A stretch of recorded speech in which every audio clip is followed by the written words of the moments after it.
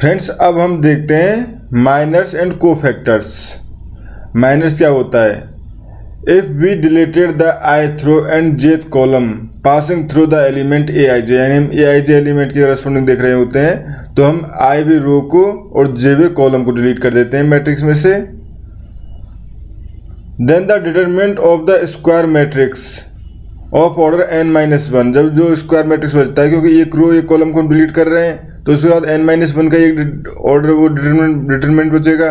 उसका ऑर्डर जो मैट्रिक्स जो बचेगा, उसका जो डिटरमेंट होगा, वो हमारे पास एम आई जे से डिनोट किया जाता है और उसको हम माइनस बोलते हैं। एग्ज़ाम्पल जैसे लेटस कंसिडर द मैट्रिक्स ये हमारे पास एग्ज़ाम्पल है फ्रेंड्स इसमें, ये हमारे पास मैट्रिक्स है। ये मैट्रिक्स है। अब इसमें हमें ए टू वन के करस्पॉन्डिंग देख रहे हैं। सपोज़ ही ए टू वन के करस्पॉन्डिंग देख रहे हैं। पहले हम ए टू वन के करस्पॉन्डिंग देख रहे हैं। तो ए टू वन के करस्पॉन्डिंग देखने के लिए हमें इसकी जो रो है, यानी इस रो को डिलीट करना होगा और इस कॉलम को।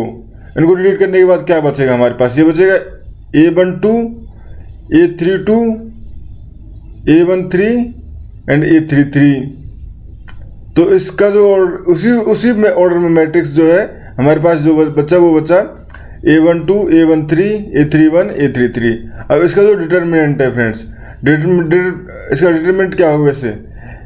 A sorry A two two minus sorry A two two sorry A one two dot A three three minus A three two dot A one three ये इसका माइनस होगा। तो इस तरह से माइनस होता है। अब फ्रेंड्स को फैक्टर्स क्या होता है? को फैक्टर्स में कुछ भी नहीं होता, सिर्फ़ माइनस ही होता है वो। ओनली वहाँ पे ये जुड़ जाता है एम आई जे में multiply by minus one to the power I plus J I और जे कौन सा? जो ए आई जे जो एलिमेंट होता है, उसका। मतलब उसका आई और जे जैसे ये है हमारे पास, इसका अगर हम को फैक्टर निकालना चाहें तो इसमें यहाँ पे माइनस वन का मल्टीप्लाई माइनस वन और की power I plus J N minus one two plus one तो ये हो जाएगा माइनस वन टू की power three and minus one आगे आ जाएगा। तो उस तरह से उसका को फैक्टर निकल जाएगा। और उसको ए आई जे या सी आई जे से डिनोट करते हैं। जैसे यहाँ पे हमने निकाल के दिखाया भी है इसको।